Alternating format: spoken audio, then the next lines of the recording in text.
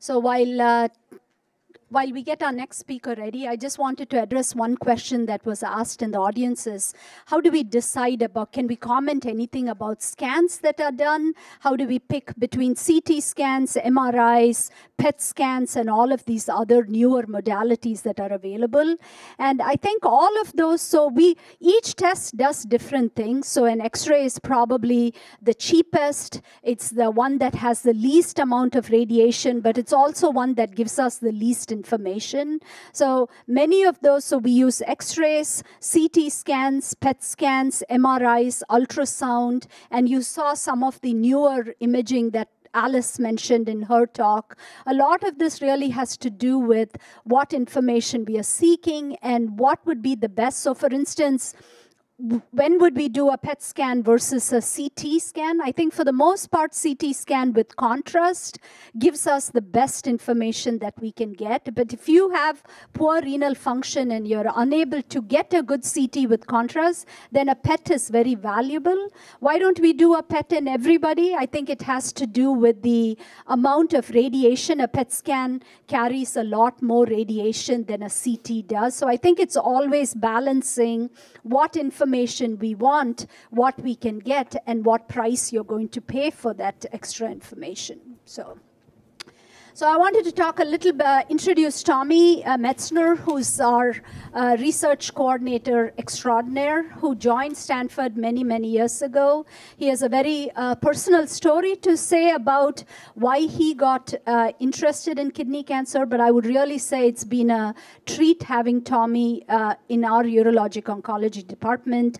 He's helped almost every one of us um, collect specimens, enhance our research. He helps uh, consent patients about why they should be engaged in clinical research. He helps collect uh, blood samples, tissue, biopsies, both um, in the operating room, and has done tremendous work in helping many investigators here at Stanford our uh, personal hope, and I know Tommy's hope himself, is for him to become a physician one day, and I think he's inching every day closer towards that dream.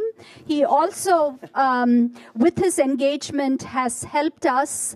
Uh, helped he himself form this program, getting um, medical students and uh, pre med students engaged in uh, research and coming to our clinic in urologic oncology. So Tommy is just going to talk a little bit about what he's done and his work in helping enhance our research here at Stanford. Can everybody hear me? Wonderful. Okay. Thank you, Sandy. Uh, thank you for that kind introduction. Um, hi, everybody. um, I, I got to first start off by saying that this is one of my favorite events of the year. So it's wonderful to be back here and uh, have the opportunity to, to give a talk to you guys again. Um, and so exactly what Sandy said is I'm going to talk to you a little bit about the research that we're conducting here at Stanford and specifically how we are acquiring and sharing knowledge about kidney cancer amongst the investigators, the physicians, and the scientists here at Stanford um, with the hopes of improving treatments uh, for kidney cancer patients. So first I'd like to introduce myself. Um, my name's Thomas Metzner, but everybody calls me Tommy, so you guys should as well. Um, feel free. And unlike uh, my colleagues who presented earlier, I'm not a physician. I'm a scientist. Uh, so I earned my bachelor's degree from uh, the University of California, San Diego in human biology. I also have a master's of science in biotechnology from Johns Hopkins University.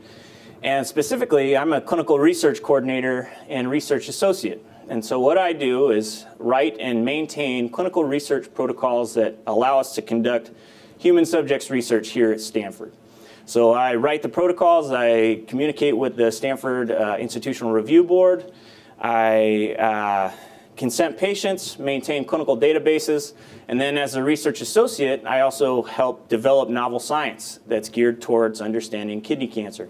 Um, so I run some experiments myself, I uh, help troubleshoot assays, um, analyze data, etc.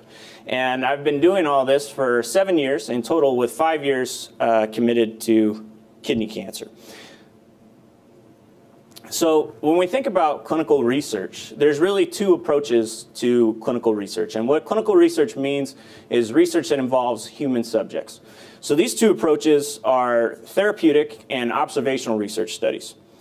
So therapeutic research studies are ones that likely all of you are familiar with, and these are also known as clinical trials. And so these are treatments that are outside of the standard of care in which data is collected on the research and on the, on the, uh, the treatment itself for the duration of the study. That is, as long as the patient is receiving, say, a therapeutic drug or has undergone an experimental surgery. It's our hope that patients will benefit from these interventions. Um, that being said, that's not always a guarantee. And there's also, at times, a risk associated with those interventions, and those risks can be potentially very serious. In contrast, observational research studies are studies that involve the collection of information and data in the setting of a standard of care procedure. And so examples of observational research studies are studies that involve the collection of tissue, for instance, when a patient undergoes surgery, um, quality of life assessments and surveys, um, as well as epidemiologic data mining. And the beauty of these studies is that they can, they can provide us with a tremendous amount of information about a particular disease at little to no risk to the patients and at very little cost to the researchers. So to run a, a, clinical trial costs literally millions of dollars and many years for a drug company to perform that research. In contrast, observational research studies can be done with small grants um, led by investigators. They can be done in real time. Um, and as long as the investigator has the personnel and access to patients, um, we can gain a lot of information in a short amount of time. And so both of these approaches to research are incredibly important um, I myself, I conduct observational research. So I'm going to talk to you a little more about that. So at this point, you might be thinking, who is this guy? He's just some science nerd who is interested in kidney cancer, right? Maybe he doesn't care that much about patients. Well, part of that is true. I am a gigantic science nerd, so I'll say that up front. Um, but I care tremendously about kidney cancer patients. And to really illustrate that, I want to introduce you to the first kidney cancer patient I ever, I ever encountered. So this is Larry. Larry is, uh, well, one of the best men I've ever known, to be quite honest with you. Um, he was a Stanford alumnus, class of 1973. He graduated with honors from this university. He was also a very successful attorney and a philanthropist and was a pillar to his community in Alameda. He lived right here in the Bay Area. Of all the great things that Larry was, my favorite thing about him was that he was my uncle, and he was like a second dad to me. Unfortunately, Larry was diagnosed with stage 4 renal cell carcinoma in 2010. He had metastatic disease at the time of his presentation. He, went, he underwent a, uh, a heroic uh, bout with his disease involving numerous surgeries, um, spinal fusions, a number of systemic treatments, and unfortunately, he succumbed to his disease in December 2011. Um, at the time, I was working as a, uh, a research assistant at the Scripps Research Institute in San Diego, and I was studying cancer. And uh, during the course of his illness, I spent a lot of time with Larry. And before he passed away, I asked him, I said, if you could learn anything about kidney cancer, what would it be? And he had two answers. He said, Number one, I want to know why me? Why do I have this disease? I've taken good care of myself my entire life. I have no risk factors for kidney cancer, let alone any type of cancer. I have no genetic predisposition that I know of. Nobody in our family has ever had kidney cancer. So why am I at 62 years old? Why do I have stage 4 kidney cancer? The second question that he wanted answered was, is there a better way to assign drug treatments? Because in his words, there's got to be something better than this goddamn Sutent. he was frustrated as all can be. And uh, you heard a little bit about Alex saying that we have a, uh, a, trial and error approach, if you will, to assigning systemic therapies in which we give a patient a drug in hopes that it'll work and we reimage in 12 weeks And if it doesn't work, we give them a new drug. Well, is there a better way of going about that process and actually assigning therapy based on tumor biology? And so that was a big thing to Larry. That was a huge deal. And the answers to those questions can be provided through observational research studies. And so an example of what we're doing here at Stanford, an observational research study here at Stanford is, is what Dr. Fan talked to you about. And this is a big project that I've been working on in which we sample tissue specimens from patients who are undergoing nephrectomy to treat their kidney cancer. We can run it through a fancy machine and it will produce a very specific protein profile of what proteins are upregulated in a patient's tumor in the cells that actually comprise a patient's tumor. And it's our hope that if we can isolate these proteins from very small amounts of tissue, that we may be able to find drug targets and thus more effectively assign a patient a treatment based on the proteins that are upregulated in their tumors as opposed to just giving a very broad, uh, a, a broad drug in hopes that it will work. So this is an example of, of one observational research study that we're conducting. And if we can, if we expand that, we find that these protocols are actually able to provide us with a tremendous amount of information, again, at no risk to the patients.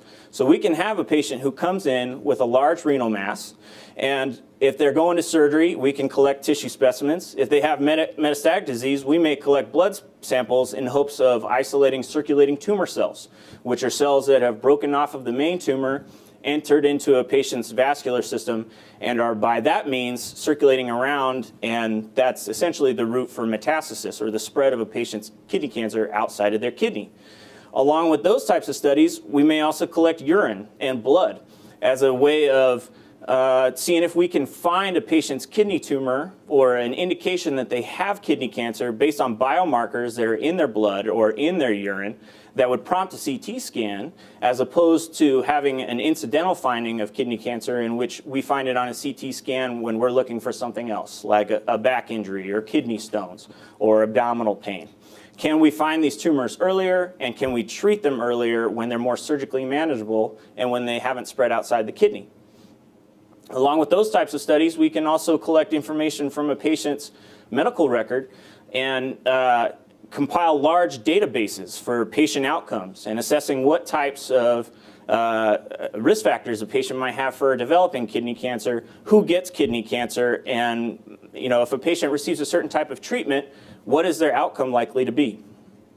And we can also collect these uh, tissue specimens, put them into mouse models, and test drugs and see if a particular type of drug is more uh, effective at treating uh, kidney cancer than, say, another drug. And we can also understand the biology of metastasis.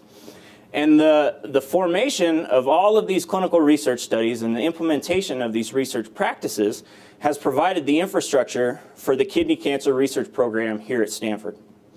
So the kidney cancer research program utilizes an umbrella of observational uh, clinical research studies to provide in information to a consortium of kidney cancer researchers here at Stanford.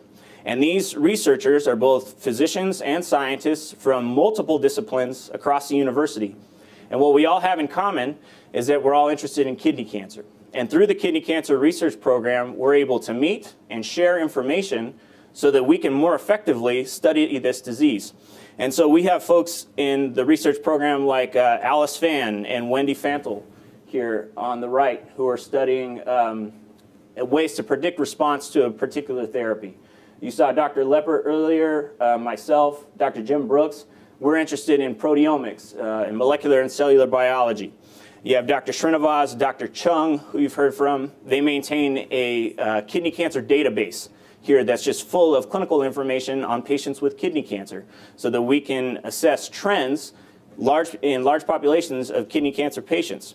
Um, Dr. Amato Giaccia and uh, Erinn Rankin, they're studying drug targeting and resistance. And then we also have specialists who have developed animal models that are incredibly effective at uh, mimicking kidney cancer in a mammalian system. And we can test, we can test drugs on those, uh, those tumors that we implant in these mice. And so uh, Dean Felsher, Jeffrey Gertner, and uh, Dr. Donna Peehl are, are instrumental in that. And this uh, group meets twice a month, and we just talk about kidney cancer. And it's a, it's a means by which we are getting everybody in the same room, a meeting of the minds, if you will, to really approach this disease in a way where we can utilize our strengths to overcome the challenges and the hurdles of studying a cancer that is as complicated as kidney cancer. And along with the, the uh, kidney cancer research program, I'm really proud to announce a project that I took on and founded myself. So the Larry and Diana Lulof's Memorial Kidney Cancer Research Internship is an internship I started in memory of my Uncle Larry. Um, initially, it bore only his name, but I changed it because uh, in February of this year, unfortunately, my Aunt Diana, who is Larry's wife, um, succumbed to her own battle with lung cancer.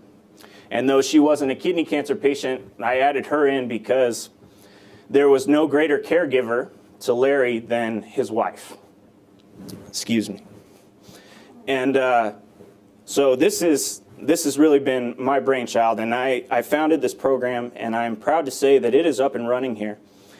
And so what it is, it's a six-month paid internship for Stanford undergraduates. It's available to all undergraduates except for freshmen um, because we want students to have some, uh, some collegiate uh, science coursework under the belts before they start this program. Um, and it provides a three-month clinical rotation followed by a three-month research rotation that's geared towards studying kidney cancer. So during their clinical rotation, the students uh, shadow physicians, uh, specifically oncologists and urologists, in the GU Oncology Clinic as well as in the operating room, learning about kidney cancer, understanding treatment paradigms for this disease, and meeting kidney cancer patients and their families so that they can understand, really understand the challenges associated with this, with this disease. Following their clinical rotation, the students uh, take part in a research rotation in which they work on a translational research project with one of the members of the kidney cancer research program that's aimed at improving treatments for kidney cancer. And this program has two aims. Number one, it's to increase in, the awareness and interest in renal cell carcinoma for future physicians and scientists. And it's also geared towards facilitating students getting into doctoral programs. And specifically, this program places an emphasis on underprivileged students here at Stanford who otherwise would not be able to acquire time working with physicians, being able to do research, um, et cetera. And at, at the core of this project are observational research studies um, that really allow students to um, gain this information. So I'm proud to say that in 2017, we graduated two students, two outstanding interns through this program. So on the left is Jasmine Kamrudin. She's from the Stanford class of 2019. And on the right is Caitlin Lagatuta, who is the Stanford class of 2018. And Caitlin's actually sitting right there, and she's my latest superstar. So big round of applause. She completed the program last month. And so I want to introduce these remarkable women. A little bit about Jasmine. She was born and raised in South Central Los Angeles. This is a picture of her and her mother at her high school graduation. Uh, Jasmine's mom is a paraplegic, and as a teenager, she helped take care of her mother. So she has one of the most profound senses of, of caring and compassion for others, other people I've ever met from a young person. Um, her majors are political science and African American studies. Uh, she was the first in her family to attend college, and she completed the uh, Lulof's internship in June. She worked with me from January to June of 2017, and her future goals are to go to medical school and earn a medical doctorate. Hello. Sorry. There we go. And a little bit about Caitlin. She's from Davis, California. Her major is computer science. Uh, she actually did a condensed form of the Lulof's internship. So she worked three months, but she did twice the amount of time in a week that a normal intern would do. So typically they do 12 weeks. She did 24. And she did it over the course of the summer while studying for the MCAT, I will say. Um, she completed the internship, like I said, in September. And uh, interesting thing about Caitlin, she was a three-year varsity athlete. Um, she's a softball player here at Stanford. Um, her future goals are to go to medical school and uh, also to potentially earn a PhD. So, as I said, uh, they start with they start with clinical rotations, and uh, initially they they undergo a mastery of the literature. So they're required to learn about the biology of kidney cancer, understand its treatment paradigms, and then they start working with physicians. And these are this is a picture of uh, both of these ladies. On the left is Jasmine observing an open partial nephrectomy in the operating room. And on the right is Caitlin. She's observing a robotic partial nephrectomy. She's sitting at a teaching console that we actually have in the operating room for our residents. So the attending physician is operating at a similar console and she's able to look in and see the exact view that the surgeon is seeing. She's obviously not operating, um, but she gets to observe. And these are incredible experiences that the majority of uh, undergraduates at Stanford don't get to experience. Uh, these ladies are in surgery or were in surgery typically one case a week. Um, so they'd spend one day in the operating room, splitting their time in the OR, and then one to two days in the clinic working with uh, medical oncologists and urologists and working with patients. And then following their clinical rotations, they undergo a research rotation. And so Jasmine worked in the lab of Alice Fan. She was mentored by Dr. Christian Horner, who's a staff scientist and, and the lab manager for the Fan lab. Um, specifically, she was interested in investigating mechanisms of drug resistance. So why a drug is initially efficacious and then loses its ability to uh, inhibit a patient's cancer. So she worked on that for three months. Um, she also presented her work at the GU Oncology Translational Research Meeting. And part of the requirements for this program is that the student must give one public talk on their work so that they can gain their voice and they can get used to sharing information and contributing to the field. Uh, Caitlin, on the other hand, she worked in the laboratory of Dr. Christina Curtis. She was mentored by Jose Sion, who's a, a postdoc in Dr. Curtis's lab, and she's interested in genomics. So she studied uh, and is studying uh, mechanisms by which gene expression could potentially be associated with uh, the development of metastatic disease. And uh, the faculty in the urology department loved her work so much that she will be speaking at next month's uh, Grand Rounds, which is a big deal for an undergraduate to be presenting at surgical Grand Rounds with the urology department. So the gist of this story is that the future is bright as far as research is concerned on kidney cancer at Stanford. Um, the Stanford Kidney Cancer Research Program is facilitating collaborations and co cooperative grant writings um, that we're hoping will lead to knowledge being presented to the field that's going to improve treatments for this disease. Um, we're also providing future physicians with an understanding of this disease. We're educating young people. And uh, most importantly, we are inspiring young scientists, and the proof is really in the pudding with this because both interns have chosen to continue their work in kidney cancer research even after completing their internships. So Caitlin has just been brought on by the Curtis Laboratory as a research assistant, an undergraduate research assistant. And Jasmine is currently at the University of Oxford completing um, an internship on public policy. She'll then be working in DC on health policy in the winter. And when she returns in the spring, her hope is to continue her work with Dr. Fan. And Dr. Fan has, uh, has confirmed that that is a possibility. So she's going to come back and she'll be working on kidney cancer when she comes back um, in the fall, uh, excuse me, in the spring.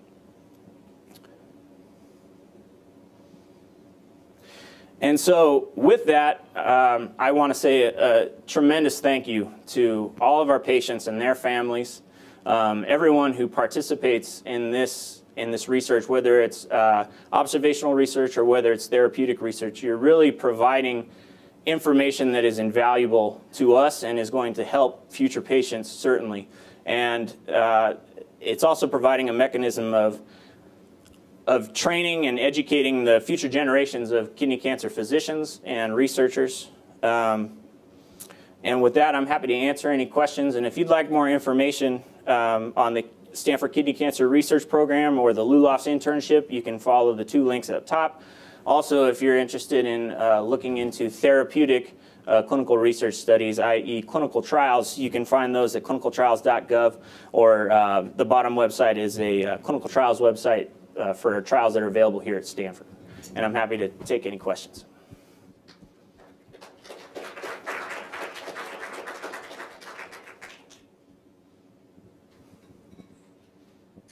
You mentioned that you were doing observational studies, and one of the things you did was to take tissues.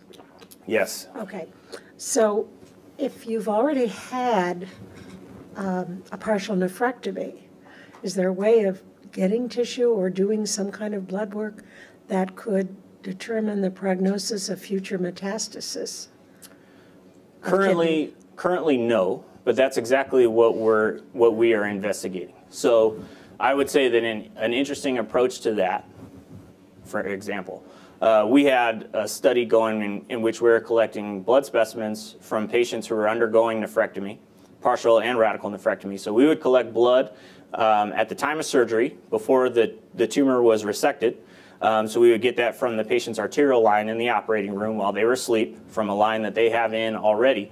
And then in the days following their surgery, when they were recovering in the hospital, we would also draw blood and analyze that for circulating tumor cells. So what we were trying to decipher was, uh, did they have, uh, were there tumor cells that were present in the blood before they went to the operating room? And then were there, was there a change in the numbers of, of cells uh, after the tumor was resected? So that would be a potential approach to answering that question. You could also take a look at um, cell-free DNA, so levels of DNA that are present in a, in a patient's blood uh, pre and post surgery. And if you don't see a change, then you could potentially theorize that maybe they have micrometastatic disease. Unfortunately, none of these assays are at a point where we can utilize them to make clinical decisions. That's why they're currently just observational research studies. But those types of approaches to patient care have to start from somewhere. And that's really where the observational studies come in. One thing I would add to that is for patients who's, who have already had surgery in the past, you know, in order for us to do anything with the existing tissue, we need patient's permission. So none of those can be done if we actually don't get a consent from you. So that's why some of the ones that we're doing now, we are prospectively getting consent. That's what Tommy does. He goes prior to surgery, really asking if it's okay if you were to contribute a piece of your tissue. So we can do anything with what's already taken without actually getting patient's permission. Okay, thank All you right, so much, thank you. Tommy. Thank you.